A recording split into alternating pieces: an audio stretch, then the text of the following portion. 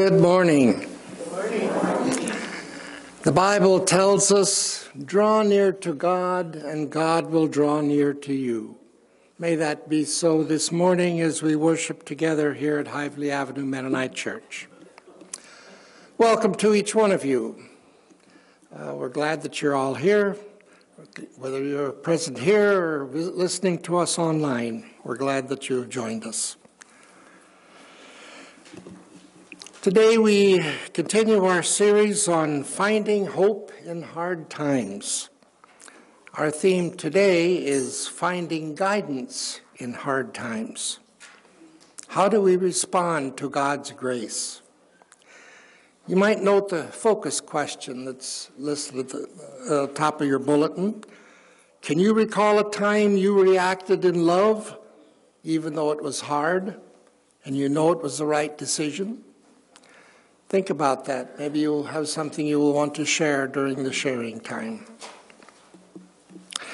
I invite you to join me in the call to worship. If you'll take your bulletins. The Lord is in his holy temple. Let all the earth be silent before him.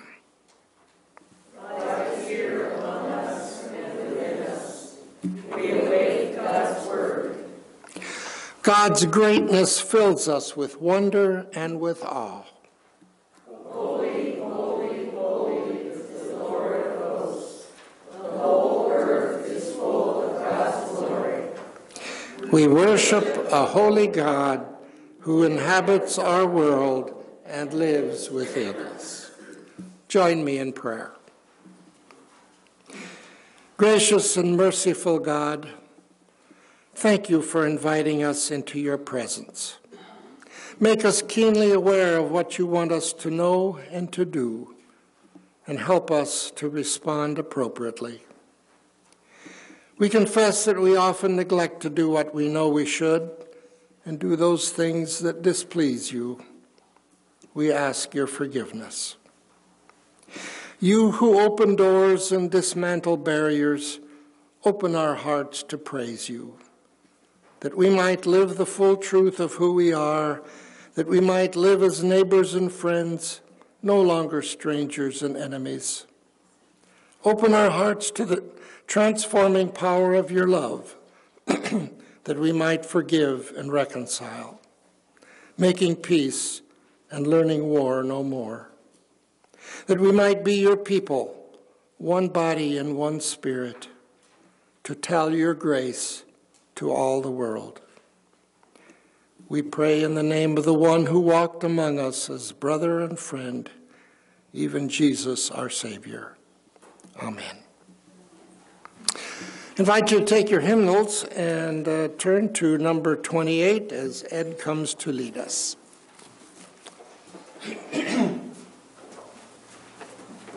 invite you to stay.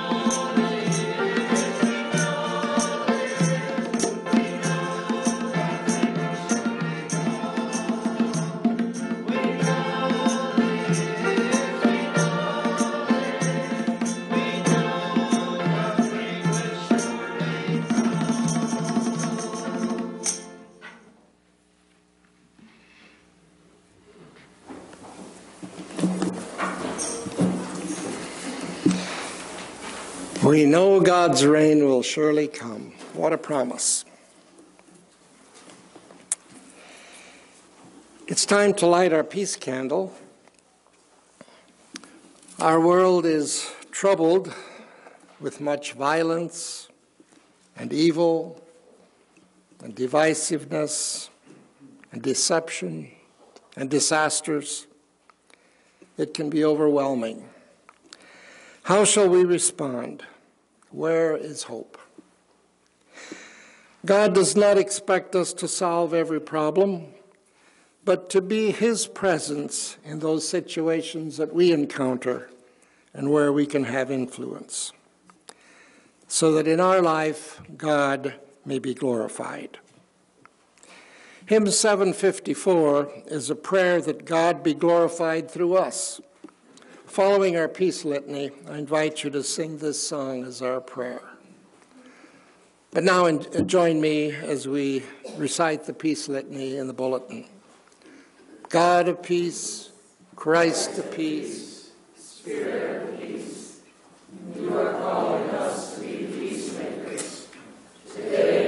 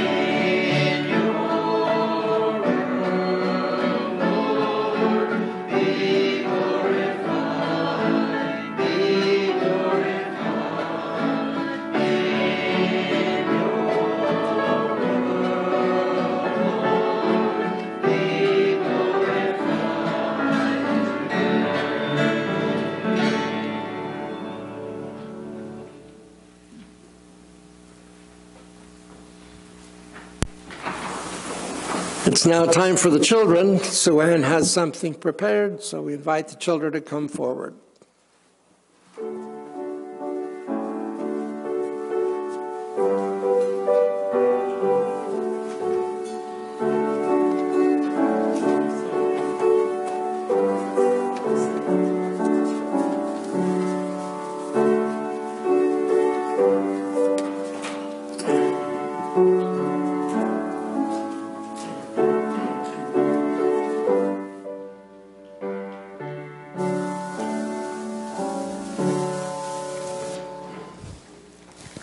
Good morning. How are you this morning? Good. I'm glad to hear that. So, let me see if I can find my. Oh, here we go. Here's my paper. Is it sometimes hard to do the right thing? Yeah, it is sometimes hard. Sometimes we know what we should do, but sometimes it's just really hard. Maybe sometimes we have a friend or somebody who makes fun of us or something, and we know that we should do something, but it's really hard. And I'd like to share a story with you this morning about a girl named Zara. And this book is called, Am I not on?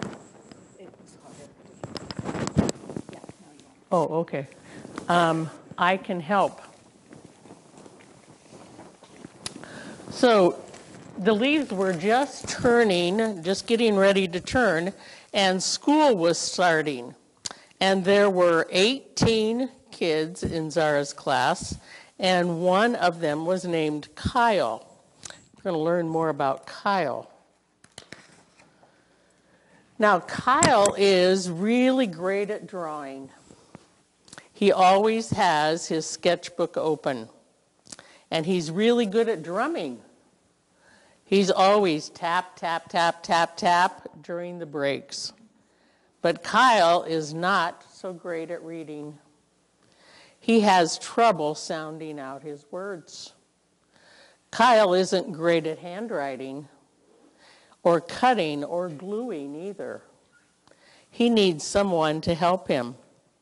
So every day, Mrs. Underwood, do you know we have a Mrs. Underwood here in church? She's right there at the piano. That's Mrs. Underwood. You know her as Crystal, but her last name is Underwood. So every day, Mrs. Underwood says, Who will help Kyle? Who will be Kyle's helper today? And I always raise my hand. I can help, I can help. This is Zariah here, raising her hand. I'll help Kyle.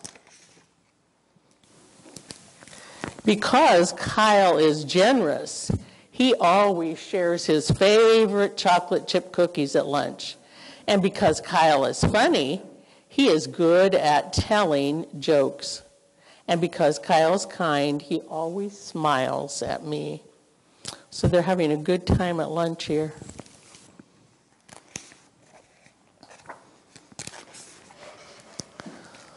One day, Mrs. Underwood chooses me to help.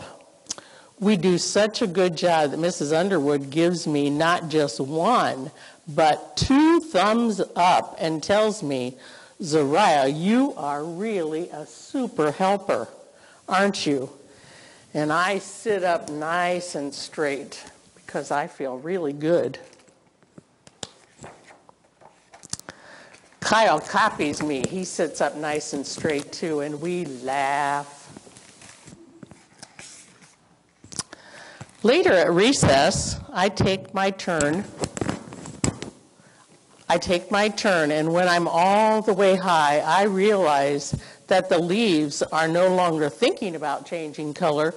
They're already changing color. The colors of red, pepper, and cumin and turmeric the spices my Nana uses to cook.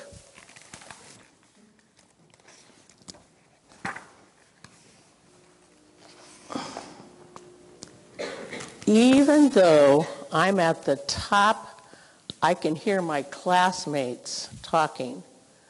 Kyle's such a baby, says Tess. He looks really weird, says Ashley.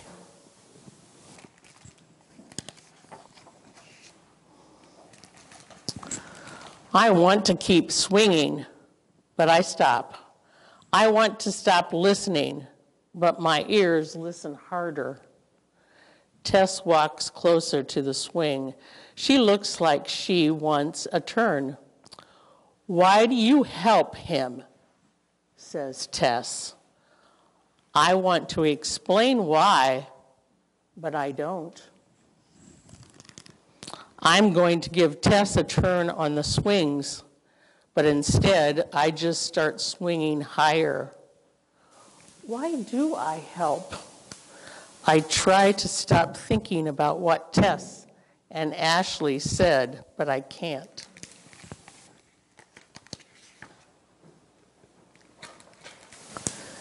The next day, Mrs. Underwood asked me to help cut paper for Kyle. My hands feel heavy as I pick up the scissors. I'm ready to cut. I notice Tess and Ashley looking at me really hard.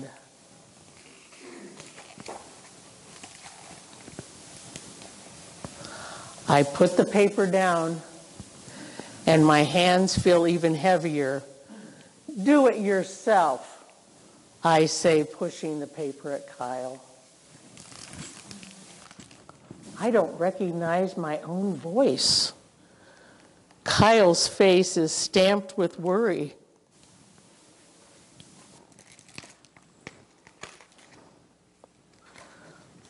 Zara, I noticed you're not helping Kyle today, said Mrs. Underwood. I want to answer her, but I don't want my mean voice to come out. I keep blinking my eyes so that I don't cry.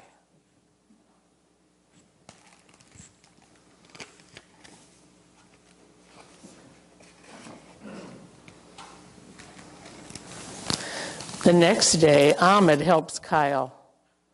I notice that Tess and Ashley are smiling at me. I look at Ahmed helping. I look at Kyle smiling and work, working, and I wish I could smile and work. But my lips aren't smiling today, even if I try. Does he know that I still want to help him? Look at her friends. Not very good friends, are they?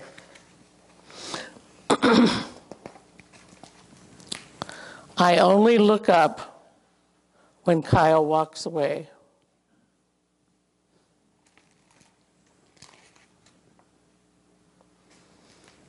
It's fall again, and I'm at a new school, and I have a chance to make a new start. Sometimes I find myself looking for Kyle, even though I know that he's not there now. It takes me a while to learn my way around, and I've never been in such a big school before. She looks a little afraid, doesn't she?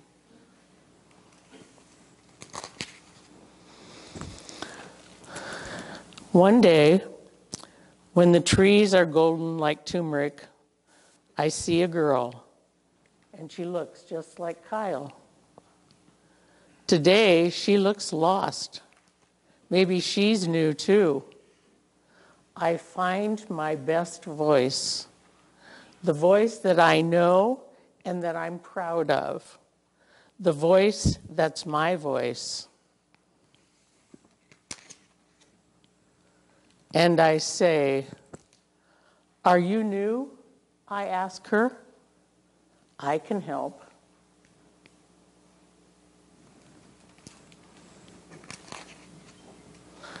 So she had a chance to change, didn't she?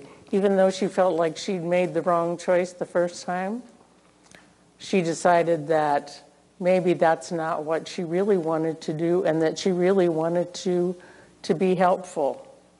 So sometimes it's really hard, and sometimes we make a mistake. And then we have to ask Jesus to forgive us and say, Help us to do the right thing.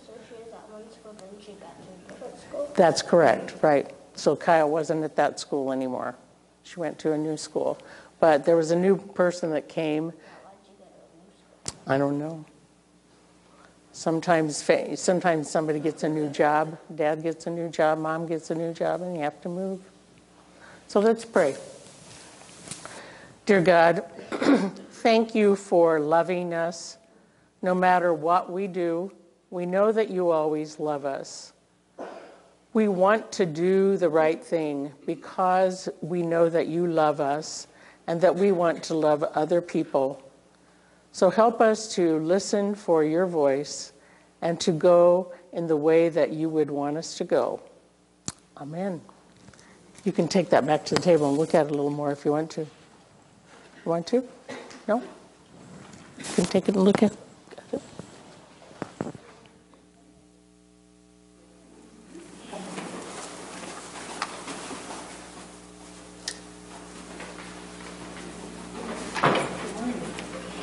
Number two, 297. 297.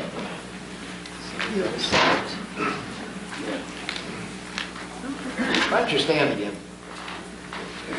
Definitely.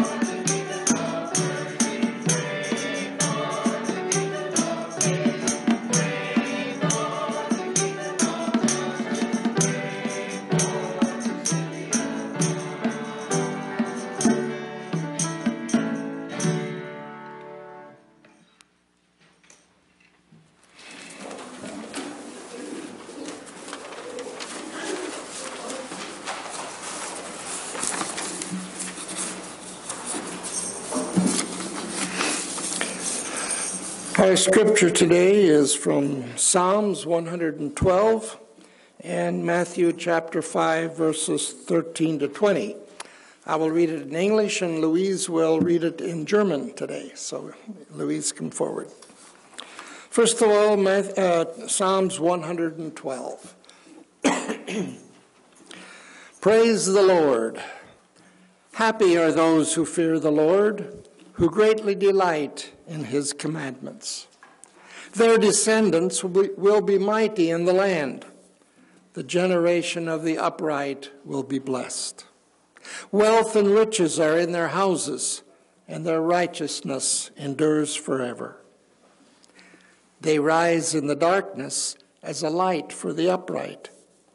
They are gracious, merciful, and righteous. It is well with those who deal generously and lend, who conduct their affairs with justice. For the righteous will never be moved, they will be remembered forever. They are not afraid of evil tidings, their hearts are firm, secure in the Lord. Their hearts are steady, they will not be afraid. In the end, they will look in triumph on their foes. They have distributed freely, they have given to the poor. Their righteousness endures forever. Their horn is exalted in honor. The wicked see it and are angry. They gnash their teeth and melt away. The desire of the wicked comes to nothing and from Matthew chapter 5, verses 13 to 20, the words of Jesus You are the salt of the earth.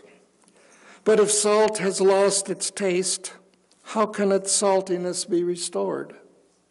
It is no longer good for anything but to be thrown out and trampled underfoot.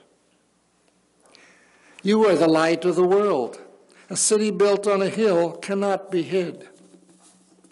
No one, after lighting a lamp, puts it under a bushel basket, but on the lampstand, and it gives light to all the house.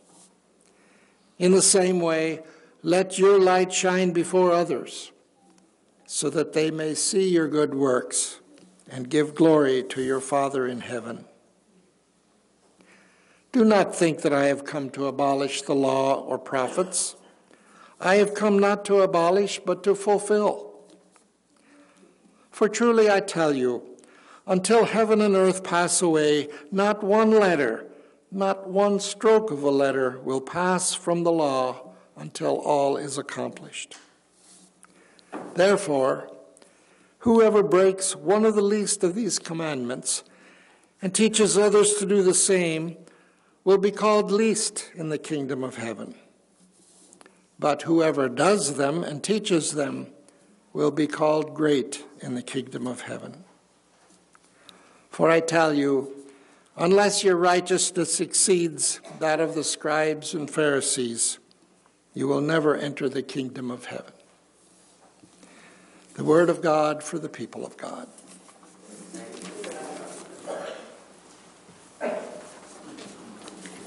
I will be reading the Matthew passage in German. Ihr seid das Salz der Erde. Wenn das Salz seinen Geschmack verliert, wie soll es seine Salzkraft wiedergewinnen? Man kann es nur auf die Straße schütten, wo es von den Menschen zertreten wird. Ihr seid das Licht der Welt. Eine Stadt, die auf dem Berge liegt, kann nicht verborgen bleiben. Man zündet auch kein Licht an, um es unter einen Eimer zu stellen. Man setzt es doch auf einen Leuchter, dann leuchtet es allen Bewohner, Bewohnern des Hauses. So lasst euer Licht leuchten vor den Menschen. Sie sollen eure gute Werke sehen und dann euren Vater im Himmel preisen. Meint doch nicht, dass es meine Aufgabe sei, das Gesetz und die Propheten aufzulösen. Ich bin nicht gekommen, um irgendetwas aufzulösen, sondern zur Erfüllung zu bringen. Wahrlich, ich sage euch, der Himmel und die Erde werden eher vergehen, als dass auch nur ein kleinster Buchstabe oder Strichlein vom Gesetz vergehen wird, bis es sich alles erfüllt. Wer also irgendeines dieser kleinsten Gebote aufhebt auf so die, und so die Menschen unterweist, der wird in der Königsherrschaft der Himmel zu den geringsten zählen. Wer dagegen selbst die Gebote hält und auch lehrt, der wird in der Königsherrschaft des Himmels ein großer heißen. Wenn eure äh, Gerechtigkeit nicht ganz andere Art ist als die der Schriftgelehrten und Pharisäer, so könnt auch ihr nicht zu der Königsherrschaft der Himmel kommen.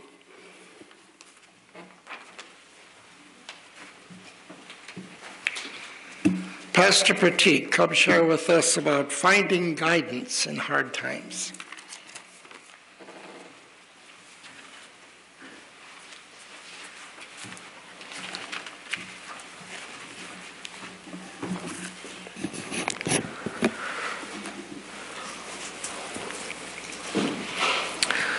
Uh, thank you, Leroy, and all for leading the uh, the worship today, this morning. It was wonderful. Thank you for the wonderful songs, and thank you for reading the scripture in Germany. Uh, I praise God for everything. Shall we look to God in prayer? Dear God, we come to your presence this morning, and as this time we as a church, as your people, as your family, we are together here to learn from your word. We pray, O Lord, that you please speak to each one of us this morning. We pray that let you lead this time, O Lord, that every word that comes out of my mouth be anointed and blessed by you alone. Help us, O Lord, to learn your word and help us to follow it. In Jesus' mighty precious name we pray. Amen. Amen.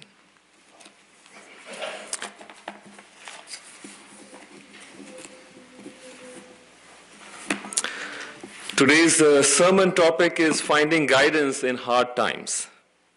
And honestly, finding guidance in hard times is, is a very hard thing. And sometimes it is us who make it harder. An old sailor repeatedly got lost at sea. So his friends gave him a compass and they urged him to use it the next time he took, uh, so the next time he took the compass. And the friends wanted him to use it whenever he felt like he is lost so he can see the direction and he can get home. So the next time he's taking the compass with him, but as usual, he was unable to find the land. He was rescued by his friends once again. And they asked him, Why didn't you use the compass? The sailor responded, I wanted to go north but as hard as I tried to make the needle aim in that direction, it just kept on pointing southeast. he was so certain that he knew which way was north that he tossed the compass aside as worthless and failed to benefit from the guidance it offered. And many a times, the things that guide us, sometimes we don't take it or we take it for granted. We don't regard it. We just toss it, but there is value to it and we don't recognize it oftentimes. So we sometimes make it harder to find guidance in hard times. Regardless of how well we put, uh, we put in our efforts or how long we try, if we are not doing things in the right way, it will never get us positive results. It will never get us positive results. One of today's scripture is uh, Matthew chapter 5 verse 13 to 20.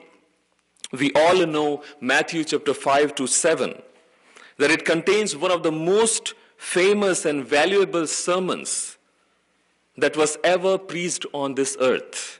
It was preached by Jesus himself. It is referred to as the Sermon on the Mount. In fact, most of the sermons that you will hear in your lifetime Somehow, all of them, in some way or the other, have a deep relationship with the essence of the Sermon on the Mount. Also, for us who are the Anabaptists, the Sermon on the Mount is critical as it offers a new or transformed way of living our lives in this world as the disciples of the Lord Jesus Christ. Today's passage which is Matthew chapter 5 verse 13 to 20, comes right after the passage on the Beatitudes. Matthew 5 1 to 2 is the setting of the Sermon on the Mount, and in verse 3 to 12, we hear Jesus saying or sharing the Beatitudes, which can also mean the supreme blessedness or happiness. In the final three verses, though, in verses 10 to 12, Jesus talks about the attitude of the world, that the, the world would see the followers of the Lord Jesus in a very different way, that they are going to mock them, that they are going to persecute them. And what is Jesus doing there? Jesus is guiding his followers to be prepared for the hard times. And that I found very blessed, that I found very interesting. Jesus is guiding his followers to prepare, to be prepared for the hard times they are going to face in the near future. Jesus is not guiding his disciples how to avoid those hard times. But Jesus is helping them to see why the hard times come and how to go through it, which is very, very important, very essential for me. Jesus is teaching the disciples that they have to go through hard times, but what is their approach? How they understand the hard times really matters a lot. And finally, we reach to the chosen passage for today. There is Matthew chapter 5, verse 13 to 20. And I'm going to focus on mainly verse 13 and 14. It contains an incredibly important message for the disciples of Jesus throughout generations. In this passage, Jesus is telling his disciples to know that they are the salt and light of this world. Jesus does not say that you will become the salt and light of this world. Jesus does not say that you have that capacity if you work hard to be the light and salt of this world. Jesus says you are the salt and the light of this world. You and I are the salt and light of this world. When everything is going well with us, it is very easy to be grateful, it is easy to be salt, it is easy to be light. But when things go wrong, when we are going through a tough situation, when everything around us is not going well, when we are facing hard times in our lives, we need to focus on our true identity and rely on God's guidance to carry on. But regardless of what we are going through, whether it is a hard time or an easy time or a good time, if we are the followers of the Lord Jesus Christ, we are the, law, we are the salt and the light of this world. Now, we all know and we all use the light and the salt in our daily lives. Both salt and light have many qualities that we are already aware of. But one of the greatest qualities of salt and light for me is preserving is preserving. In earlier centuries, when there was no freezers or coolers that we use so often, uh, frozen food, right? Many of us like it. It's quick and easy. But uh, those days they did not have it. So they used to use the, the salt to preserve their food. And when we talk about light, the natural light or the sun, you know, I, I, was reading an article and it said that the light that we enjoy every day is believed to be responsible for all life, for the production of air that we breathe, the cycles of the oceans, the magnetic field around our planet, the gravity, warmth of our weather. The sun is responsible for all of those things. So both salt and light have great quality to preserve. Salt add light, uh, life to the food, and light is life giving to all of us. But if we are the light and salt, what are we called to preserve or add life to? Verse 13 says, You are the salt of the earth, and verse 14 says, You are the light of the world. The Greek term that has been used here is cosmos, which means the whole world. So the east, west, north, south, and everything in between is the world. Cosmos. So, in other words, Jesus is calling us for a global mission to light up the entire world. It is true that every one of us cannot go to a foreign land and be a missionary. But there are plenty of mission fields around us in our own community. Also, that sometimes we also support many foreign missionaries and we pray for them, we help them financially, and uh, uh, we, we, we, we thus become part of their ministry. we also keep our eyes and ears open. We keep our ears open uh, to hear what God is calling us to do in other countries. There was a time when it was very hard for us to go out and be missionary outside our country and to preach the gospel. But now I, I, believe in the context of US, it has become very easy because people from all around the world are coming to the US.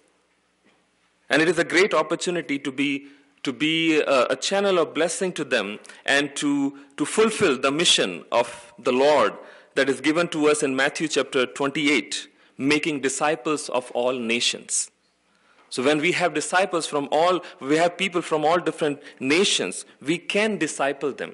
And it is a great opportunity for us who are living here in the US to disciple people, disciple people for Christ. When you say, or when, when the word says, you are the salt of this earth in verse 13a, Jesus was setting the listeners apart from the people who are not the salt of this earth.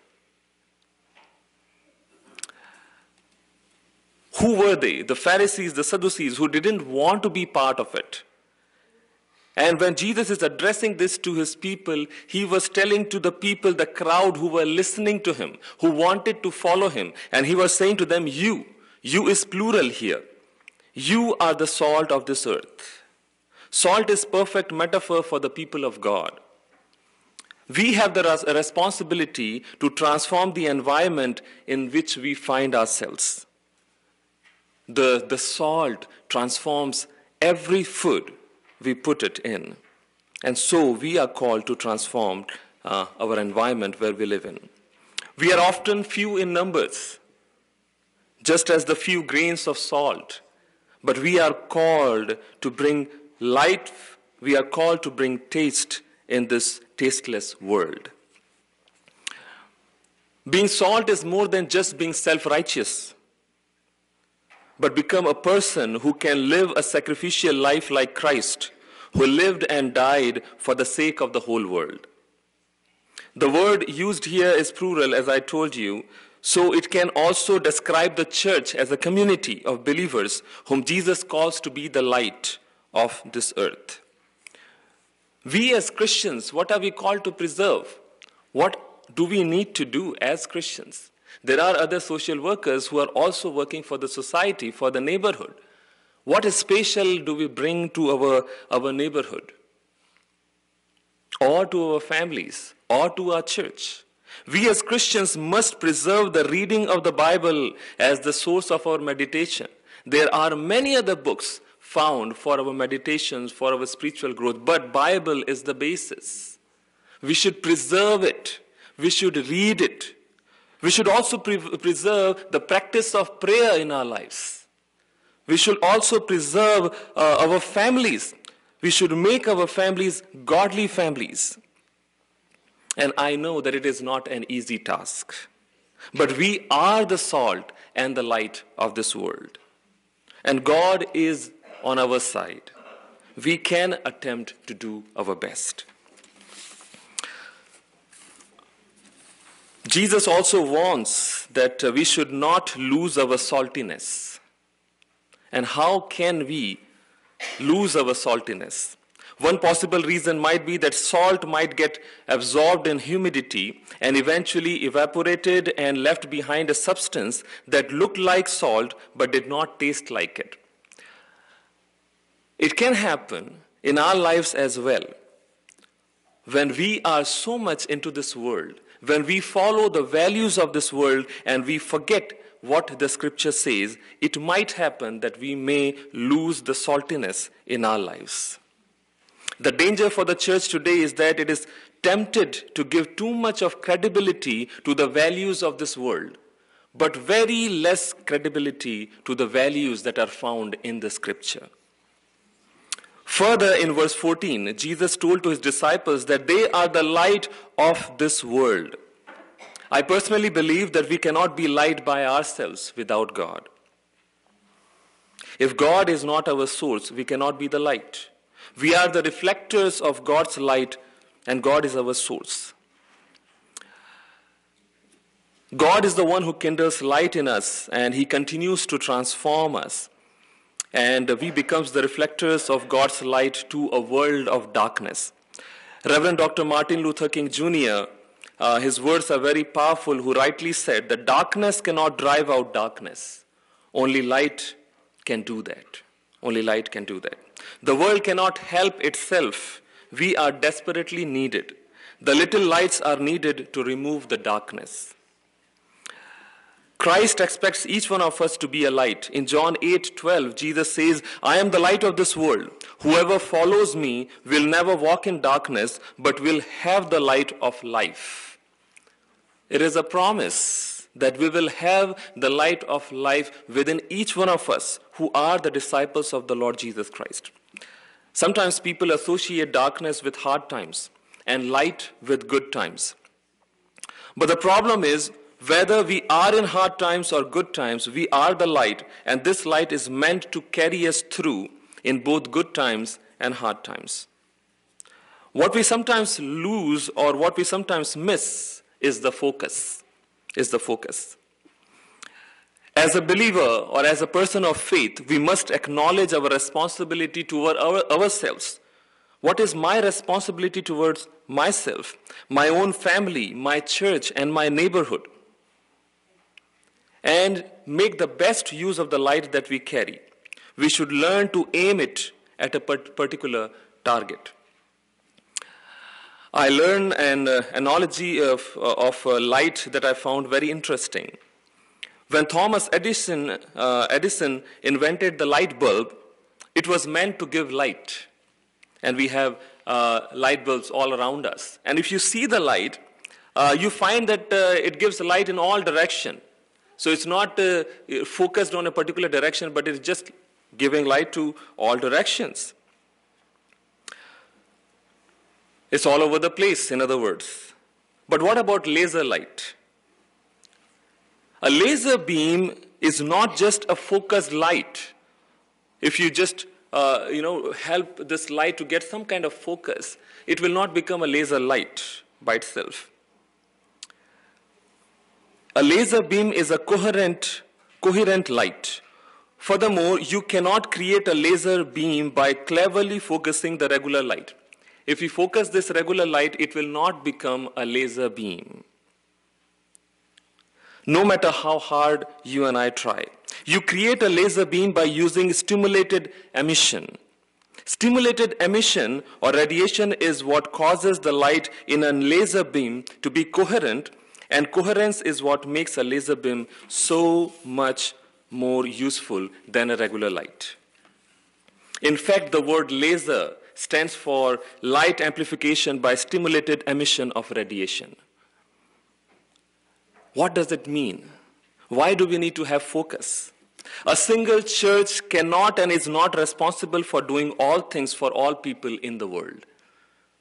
We need to select what we are supposed to do and what we are, what we can do. We cannot change all people around us. But we can certainly change one person if we are so focused on that particular person and trying to do our best to help that person. We should learn to aim our light to the selected targets that are within our reach and do our best to support them and influence them. While some of us are going through hard times because of our outward situations that we cannot control, some of us might be going through a hard time that is caused by overly stressing ourselves by trying to do it all. Let us seek God's guidance by relying on God and seeking focus in our lives. When we walk according to the guidance of God, we not only receive life, but our fellowship is life giving to others. We add taste or beauty in the life of others who come in contact of our life. I'm not here to tell you what the word says because we already know what the word teaches us. But my, my point is are we focused? Are we focused? Let us focus our light. So let us continue to make use of God's instructions and guidance that are found in God's word, once again, found in God's word that we know so well that we have been reading from our childhood. Let us follow the guidance that we find here and light up the whole world that is around us. May the Lord bless all of us. Amen. As a song of response, let us all sing from Voices Together, number 762. Number 762 from Voices Together. Let us all stand.